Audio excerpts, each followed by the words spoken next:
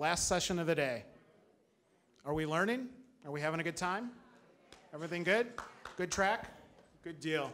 Well, we're going to keep it going. We've all heard the phrase content is king. We hear it all the time. But I like to say something different. I like to say content is everything, and everything is content.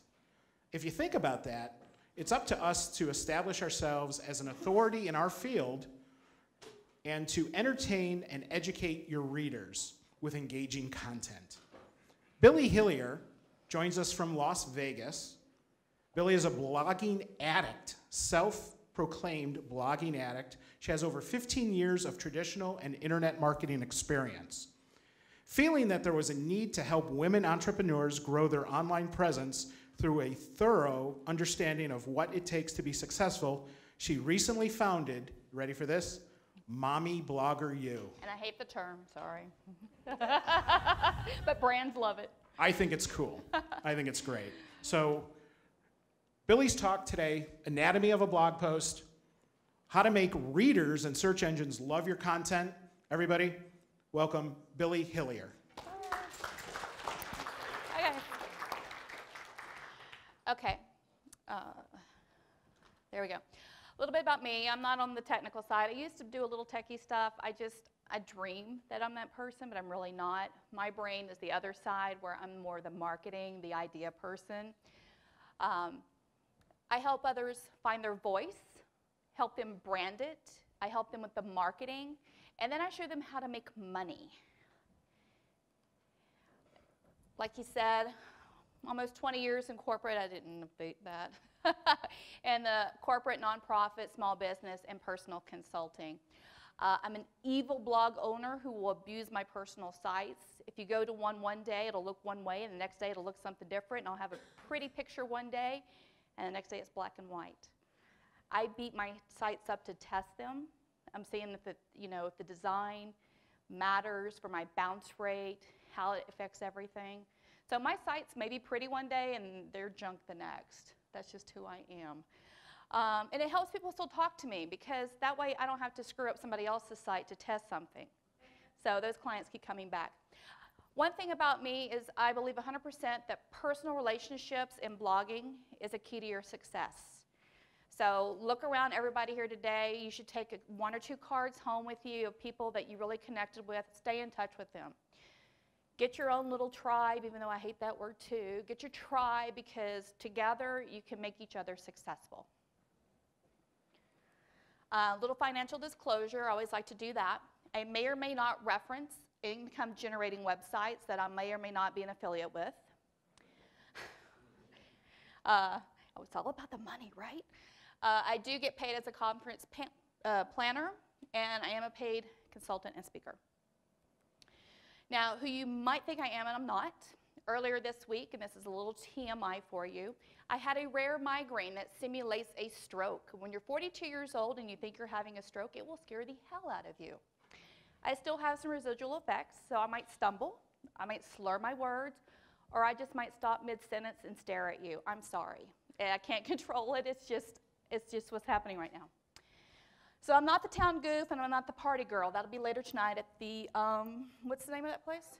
There, there you go. That's what we can call me that. All right.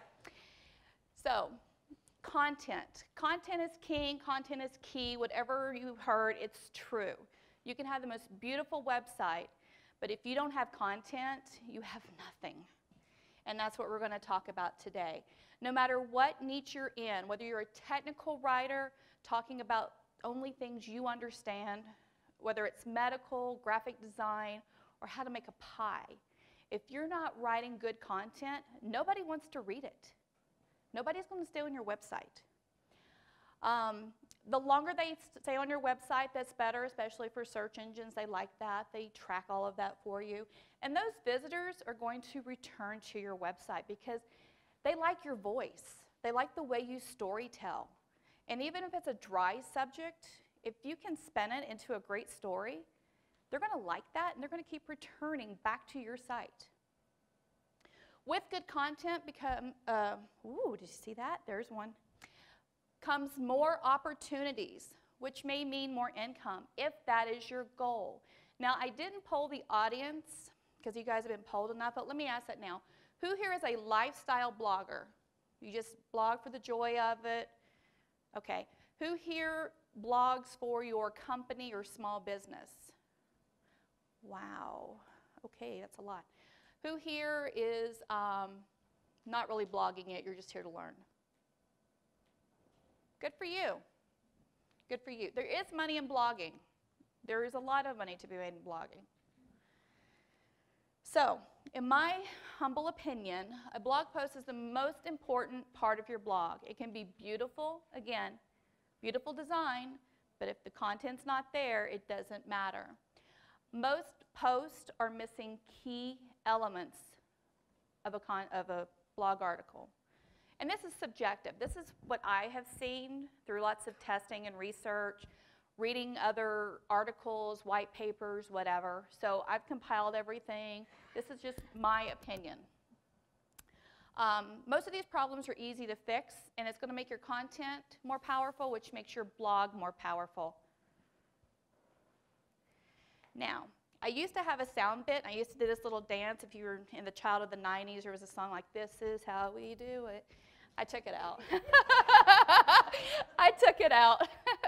so, this is how I do it keyword research. Who here does not know what keyword research is? Do not be shy. Okay. There is a tool that I like to use called Google Keyword Research Tool. And let's say I'm writing an apple pie recipe, and I use analogies of food in all of my presentations because it's something everyone can relate to and I like to eat. Um, so if I'm using my keyword as apple pie, that's probably pretty competitive. So what I'll do is I'll go to the Google um, keyword tool and I'll type in apple pie. And maybe I'll think of some other terms like best apple pie recipe, easy apple pie recipe. And I'll just put all those words in to see what it's going to spit out to me to give me ideas what keywords I might want to target for my blog post. That's the first thing I do before I start writing. I just want to have an idea of those keywords to blend in casually to my article where my reader isn't just, you know, really disrupted by that. So learn how to do keyword research. I'm a big person that thinks organic traffic is really the only traffic because I'm making money right now on my websites because they rank in the search engines. Passive income, it's wonderful, and it's through SEO. Um, try to use one keyword phrase and similar throughout your post. So you can say, This is the easiest apple pie. This is the apple pie that my grandma used to make. Just blend in variations. Make sure that, you know, you've got them throughout your post so they're all not clumped together. And then if you only write about apple pies, don't use the same terms over and over and over in each article. Try to mix them up a little bit. And then later we're going to talk about internal linking and how you can actually use articles to get them all to come up in the search engines together. One thing, um, and there's some plugins that will help you with this, but know your character links. Earlier, if you missed this um, presentation on WordPress SEO, there are plugins that will help you with this information. The one in red is the smallest. So you need to know your character links. Your title tag is this title. That's the snippet that people see when they search apple pie. It needs to be at least 64 characters or less.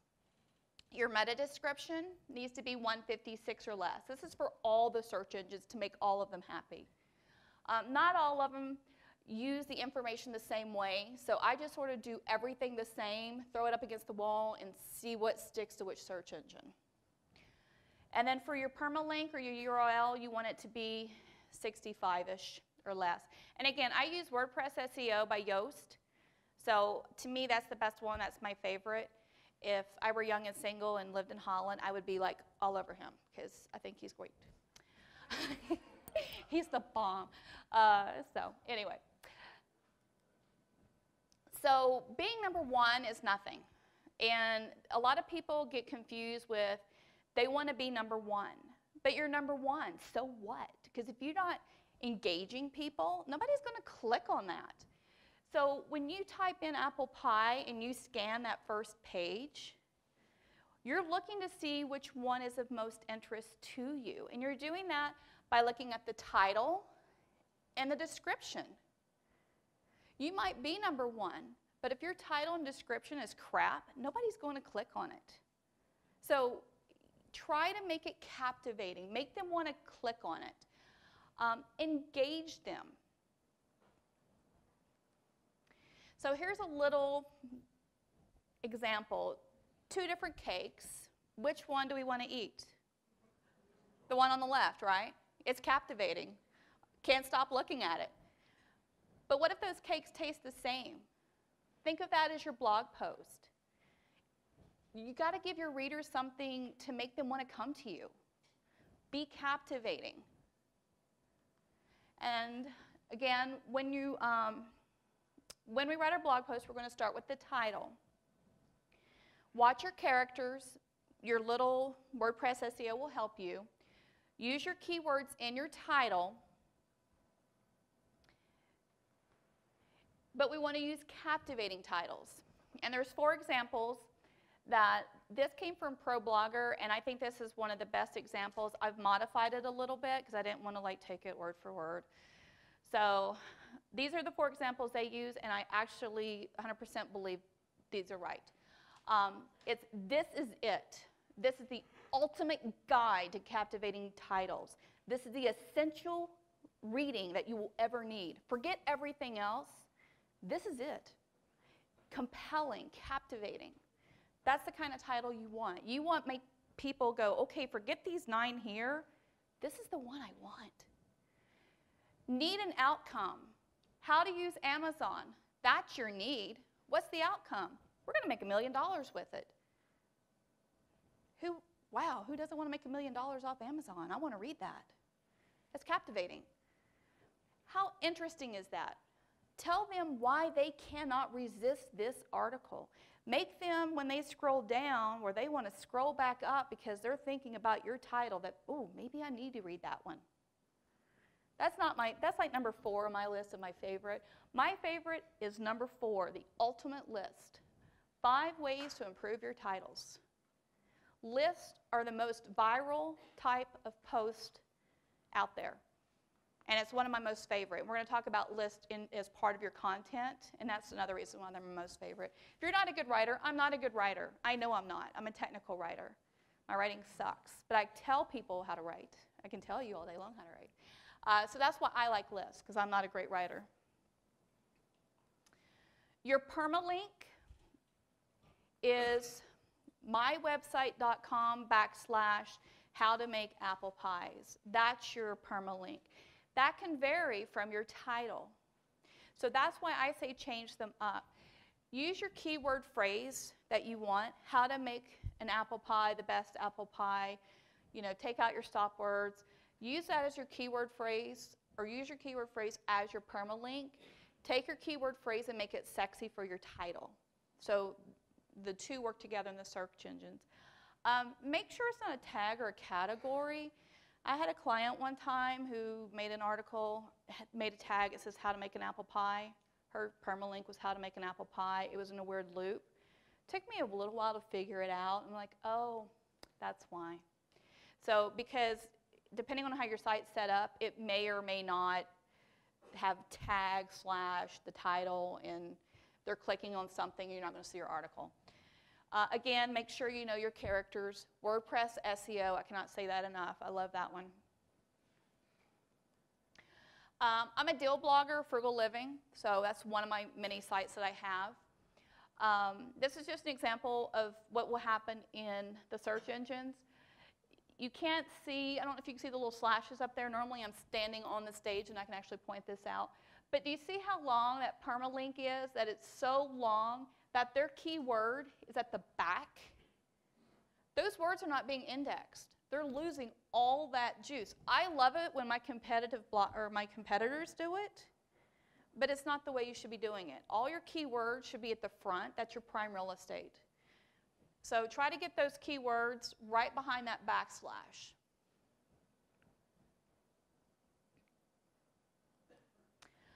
Uh, again, the king, or content. Um, when you're writing, use your keyword phrase in the first paragraph. And in the remainder of the first few characters, about 100 or so, try to put as much of your keyword density without overloading it and disrupting the user experience in those first few paragraphs. That's for the SEO. But you need to make your reader happy too. So make sure it all blends together so your reader's happy and the search engines are happy. Content, write 300 words at least. Most plugins will tell you, you know, if you have enough content, it'll tell you your keyword density if you don't want to do word counts and calculate it out. Um, WordPress SEO will count that for you.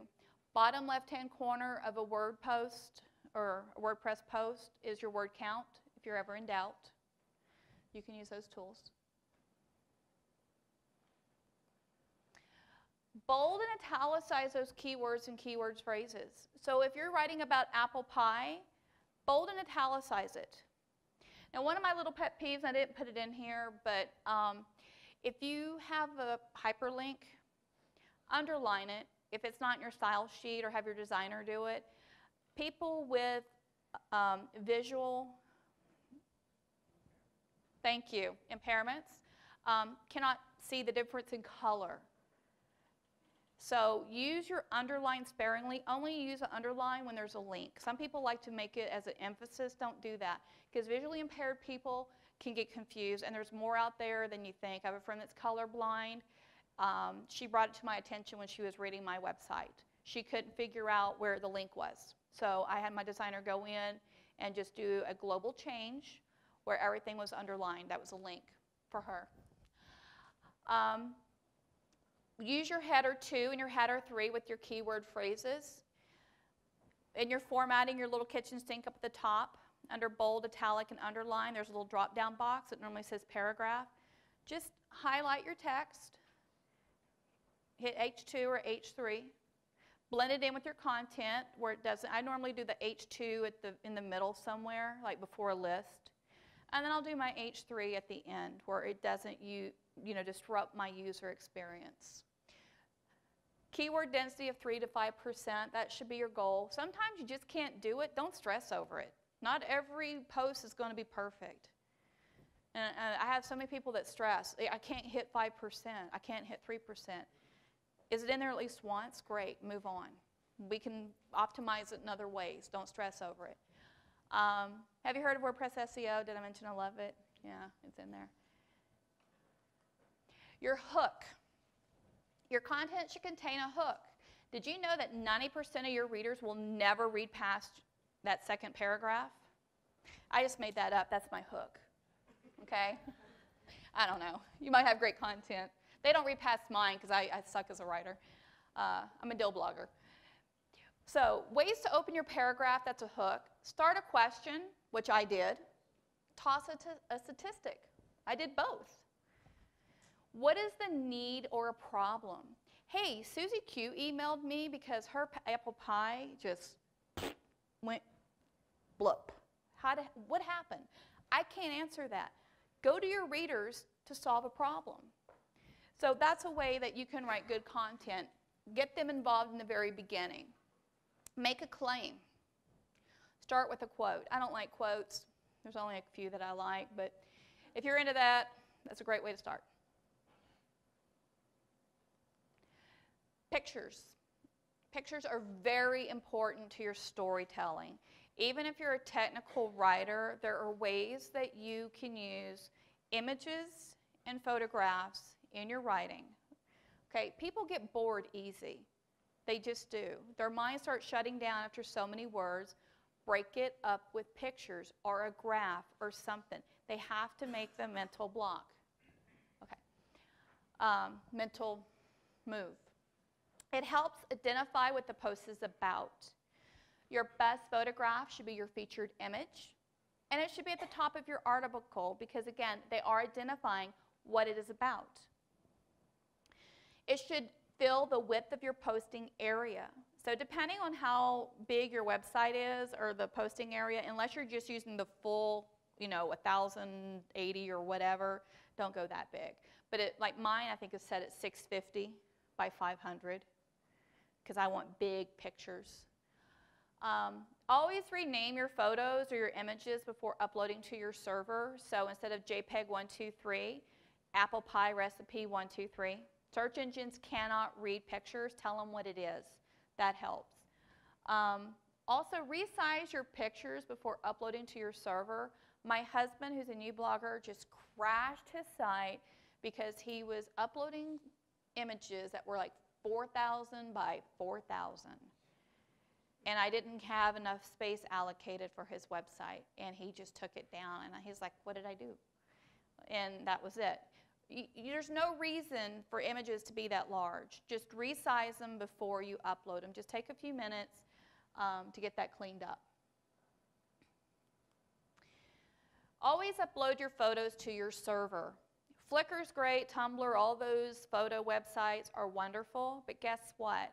If something happens, like if that photo's reported and it's pulled and you don't know it, you now have a big X or a broken image on your website. There's also something called Google search and other search engines use image search. So if I look up best apple pie recipe and I go to images, how many of you guys do that? How many of you will Google something and then click over to images to look at something? Okay, that's search engine optimization. Op- when you optimize your pictures, that's going to go back to your website. Do you, do you want them going to Flickr? Take that traffic, make it go back to your website. Always own your own stuff. Don't let anybody else have it. I mean, it's, if you want to put it over there, that's fine, but upload it to your site too. Try to use a two to one, three to one ratio of paragraphs to images. It depends on what you're writing about. It may or may not work with that ratio, but try to break it up with some images, graphs, photos, or something. Uh, again, it helps the reader enjoyment. Always use alt text to match your keywords. Who here does not know what I'm talking about? Okay. When you upload your photo to WordPress, there's going to be an area where you can add a description, a caption, and alt text. Search engines cannot read an image, so you have to tell them what it is. So where it says alternative text, you're just going to type in apple pie recipe. And then when somebody sees that on your website, when they hover over it with a mouse, there's going to be a little box that pops up, and it's going to say apple pie recipe. Because now you've told those search engines what that is. Just a little extra piece of, just a smidge of extra juice there. Um, one thing that I like to do on my websites, I go under settings and then media, and then I will actually, for my large, I tell it that I want it 650 by 500. So that way when I, if I have a picture that might be 700 by 634, I just click on that and it makes all my pictures uniform. If I, because I'm lazy and I don't edit my images like I told you to. don't do, I tell people, don't do what I do, just please do what I say, because I'm lazy. I'm lazy when it comes to my own stuff. Um, some photo traffic and tools that I like to use. Um, Pinterest, who here uses Pinterest? Who here does not use Pinterest at all? Everyone should be on Pinterest. I don't care what your business is. If it's selling dog crap, you should be on Pinterest.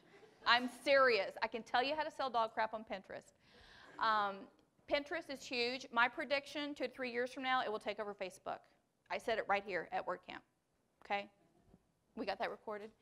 Um, Pinterest is awesome. Same for the image search. So a lot of people will go to Google Images and search, and they just changed it where it's an extra click now for them to go to your site. So if you brand it with mywebsite.com, somebody's going to go, oh, hey, this is a great apple pie recipe. I wonder if she's got more. So if they don't click on it, they might remember your website. Or if somebody steals your picture, um, it will help with that. PicMonkey, it's free, it's simple to use, cheap to upgrade. I got, a, got the warning here, so let me just go through these. Internal linking. Use at least one internal link to another related article on your website. Use your keywords for the link. Do one for an external link for another website that's related. I love Zemanta, Zemanta, don't know how to pronounce it, that's how it's spelled. What that does, it's a plugin that does related post. There's so many related posts out there. There's like nRelate, uh, yet another related post. I like this one because they pay me money, because I'm all about money. When you do your links, don't do the top. Don't say click here, because now you're telling the search engines your keywords are click here. Do it like this how to make apple cider. That's your keywords. You want that hyperlinked, internal or external link. Lists are great for an article. They break up the content. They're easily browsed, easy to remember. They're very powerful. Keep them symmetrical and begin them with the same part of the speech, if possible. So don't do like a bullet with three words and then a bullet with like three sentences. Try to keep them symmetrical. Calls to action. This is one that most bloggers do not do. You need a call to action in every post. Sign up for my newsletter, sign up for my news feed. Buy this from me, make me money. Go read my other article on Apple Pies. Email me. Read my morning feed, I already said feed. But give them a call to action. You want to keep them on your site. You want to keep them with you as long as possible. This is what most bloggers fail at. Categories and tags, that's just a little thing for SEO. Um, categories, don't do a lot of them. Try to keep those minimal. Tags, don't go crazy. I've seen people do like 100 tags. Oh my gosh, don't do that. Your category will be recipes, for example. Your tags, use your keywords. Best apple pie recipe, fast apple pie recipe, apple pies. Just keep it simple, use a couple. Money, money, money. I'm in the blogging business for making money. Um, I, I have tested this. The results I have seen is people scan, they don't read everything. They're numb to ads, they're numb to those Amazon stores that you build and embed in your wid- like the widgets. They don't buy anything from you. The best way to do it, because you're building trust with your reader, is to put it in a link. Click here to view the apple peeler that I bought that works best for me. Don't do the big widget. Give them a link because now they're going to click on it. They can't resist clicking on it. They're going to click on it. And again, okay? Um, if you're running ads like Google, um, watch your content so it wraps well. That will help you make more in the contextual. Also know your FTC rules. I didn't hear that covered today, but if any of you are doing affiliate marketing, the rules just changed. They're really coming down on us bloggers. Um, social sharing, and I'm flying through this because I'm getting the warnings. Um, be sure this is actually part of your site, not part of your content, but we are marketing your content. Um, you can flare it. You can get the pin buttons that float over your images. You can do the tweet buttons, the stumble buttons. Make sure all of those are somewhere on your part of your article. Okay, we want that article shared as much as possible. White space. White space is your friend. Don't make the blog article so cluttered, it's just, you're like, whoa, what is this? Give it some white space, break it up a little bit, make it more palatable to the eyes, okay? People are very visual. These are the recaps of the key components.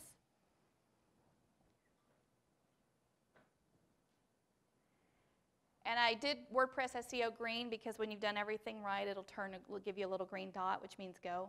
So.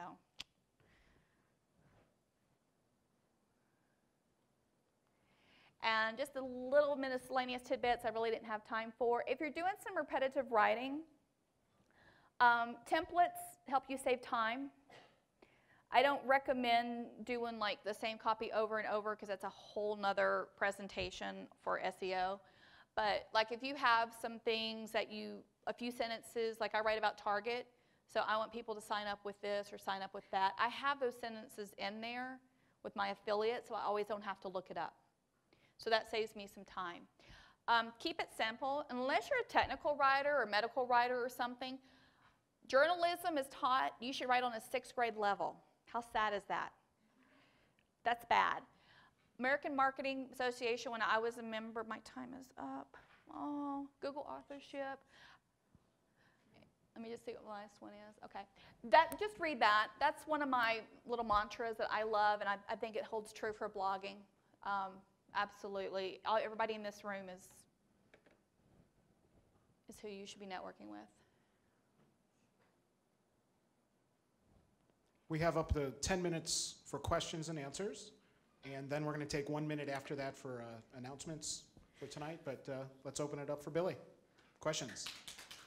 Questions? Thank you. No questions? Okay, Oh, right here. Can you put the link to where your slides are? Because your slides were awesome. I will clean them up because I have, um, the picture of the peacock's not mine. So I need to pull that out, but I will later. I realized I was gonna do a link and put it on the last slide, and like, I need to change out some of those pictures because I don't own them. So, Question. I will do that though. Just put on Twitter. Yes, I'll, I'll tweet it out. Anybody else? Yes. Hold on. Go back to the summer. I just, can you go back to the summary, two slides? Yes. A lady in the orange or coral? Microphone's coming.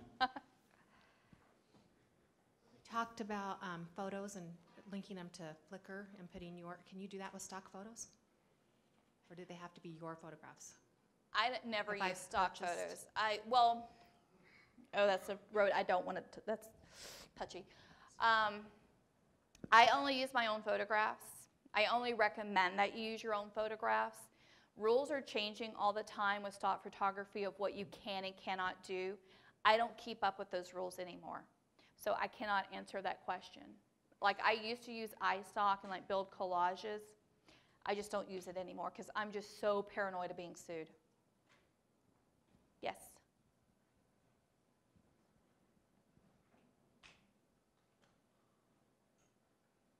Could you explain to us how you actually make money on your blogs? Huh. Okay. Um, I'm one of the redheaded stepchildren in the blogging world. I have a frugal living deal site. We are like, when you mention that, people go, ugh. That is my big. I, I know. I have. I'm actually. I have a different one. It's just different. Yeah, it's all the same concept. So um, that type of website makes a lot of money because I'll find like I really know my audience well and I know what they like because I talk to them a lot on Facebook. So I will ask them like, "Hey guys, what deals are you looking for? Oh, I need diapers this week." So I have a VA that's always looking for the best diaper deals. They'll go write a blog post. They'll post it. They buy through Amazon. I make money. So that's how that one makes money. My other blog, I make I get paid for sponsored post. One site, if you have computers, look up Desumama, D E S U M A M A dot com, D E S U M A M A dot com. She's one of my clients. She writes beautiful content. Brands love her. She has no numbers, like very few visitors, but her content is so beautiful. Brands knock down her door. She called me this past week and she's like, um, I got a sponsored post from a brand. They're going to pay her several zeros to write some articles about their product. I do those same articles. I can get paid anywhere from three, five, six, seven hundred dollars for write one article on how to change out your light bulbs to save money. So there's opportunities like that. Most of the articles that I've found to do on how to change your light bulbs and stuff pay you like twenty dollars, twenty-five You're in the wrong networks. I'll hook you up. Okay. It's all about being in the right networks, the affiliate networks. Billie, where does content curation fit into your formula? It hasn't yet. Will it? Um, Remember that website I was telling you about? That's, yeah. Okay. Um, I'm one that I love original content because I'm all about finding your voice and sharing your voice with your reader. But I will be curating a website um, for my son. My son's a gamer. He runs a gaming website, and I had an idea that curation will be perfect for him. Great. Yeah. Any other questions? I have one. Who's ready to go happy hour tonight? Yes? So, all right. Well, I hope you guys learned something. Um, my Twitter, the personality I'm using today is at Billie Hillier on Twitter. I have about 10 different accounts, and depending on which day it is, is the personality I use. So you can at Billie Hillier me. I'll send out the slides once I get them cleaned up so I don't get sued. Thank you, Billie. Thank you. Billie Hillier.